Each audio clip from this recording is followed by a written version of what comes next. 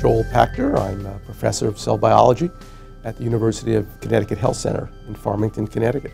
My laboratory mainly focuses on the blood-brain barrier and in CNS inflammatory diseases like multiple sclerosis.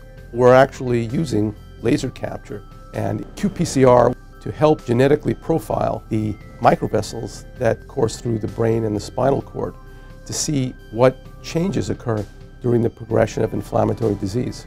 We realized that the vasculature was very heterogeneous and in order to better model that system, we had to get a better understanding how diverse the microvessels were in situ, in the brain and in the spinal cord.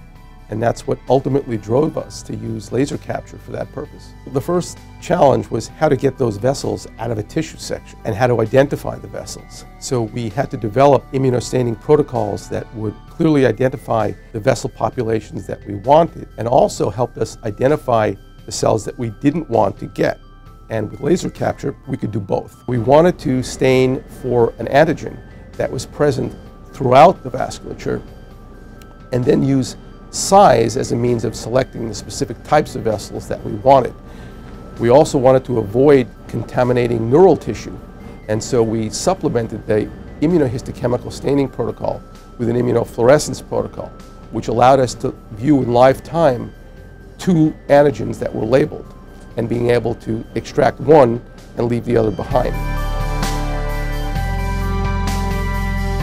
The IR laser capture process is very unique to uh, the Arcturus system. The UV systems, uh, which just use the UV system alone, uh, have a problem in that the UV light can introduce energy into the system that results in cross-linking of RNAs to proteins, which, make, which makes it difficult to extract. But we've evaluated other platforms that are limited by the downstream applications that we can couple them to, whereas the uh, Arcturus system is not. We knew that the qPCR was a good platform to go by because even the traditional hybridization-based arrays have to be confirmed by qPCR in the end.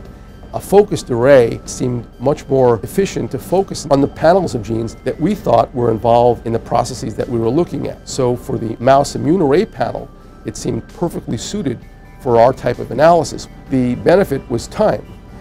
Before, we were simply doing two to three genes at one time, which ultimately took years to be able to elaborate uh, a profile. With the TLDA analysis, we're able to analyze 384 genes at one time. And so within about six hours from beginning to end, starting the LCM process to finishing the TLDA analysis, we could get 384 genes. My experience with Life Technologies uh, has been very positive because it was an easy platform to couple the laser capture with their downstream applications, being all housed really within one company. So I was able to speak with field operators in all aspects of the process, and that made uh, the development of our immuno-LCM TLDA analysis all that much better.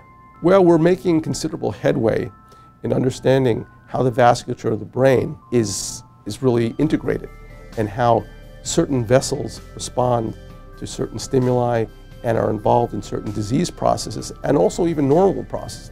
This will help us better uh, generate and develop new pharmacotherapies to specifically address uh, the problems that we've known about with regard to the blood-brain barrier.